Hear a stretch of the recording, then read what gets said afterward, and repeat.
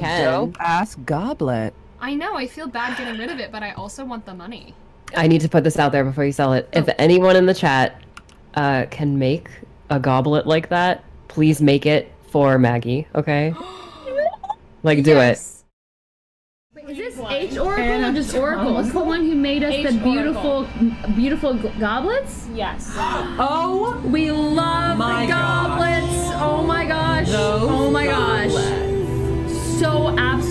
Friggin' gorgeous. It just feels like, so right in my hand.